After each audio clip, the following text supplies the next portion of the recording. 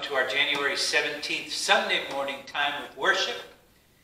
Uh, if you are joining us virtually for the first time, welcome. It is a joy to have you here with us and, and worshiping with us. I hope that you find uh, our time together this morning meaningful and uplifting, and you feel the presence of the Holy Spirit with you and among you.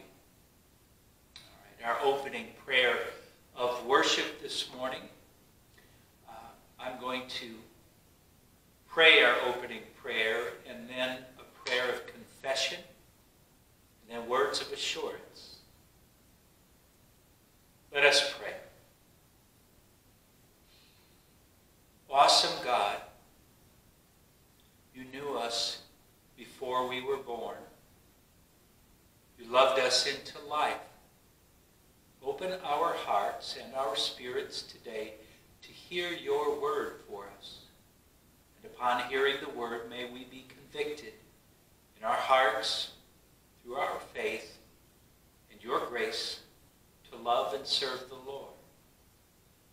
May our words, the good news of Jesus Christ, and actions done in ministry and mission, our very thoughts and intentions be placed before you in judgment as it reflects your call upon our lives. Bless us with your presence and your powerful love, we ask in Jesus' name. Amen. Now our word of confession, our prayer of confession. Lord, somewhere long ago, someone convicted us that we would not be good material God to use in healing and helping ministries in this world. We don't really believe that we have anything worthwhile to offer. And it can be relatively easy to give financially for missions and good works, but we do not see ourselves worthy of further involvement. Remind us of your forgiving love when we stubbornly refuse to believe your claim upon our lives Open our hearts and our eyes to see the gifts with which you have blessed us. And to commit those gifts to serving you by serving others. We know everything starts with prayer. So, patient God, bear with us as we settle down to pray, asking for your wisdom in our lives.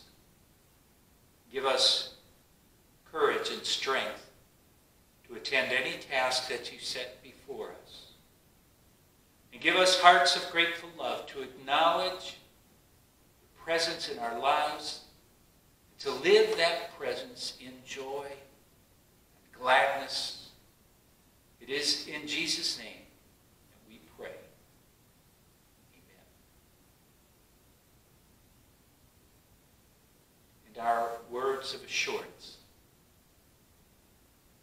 From the very beginning, God has blessed you and planted within you the Spirit, has planted within your spirit the words, I can do all things through God who strengthens me. Do not fear the task God sets before you. Rejoice, for God is with you in every moment. And God's love washes over you always, healing and nourishing Isn't that good news?